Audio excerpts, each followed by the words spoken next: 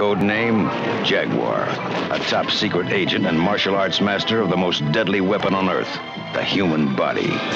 Six months ago, he was gunned down by an international organization of assassins.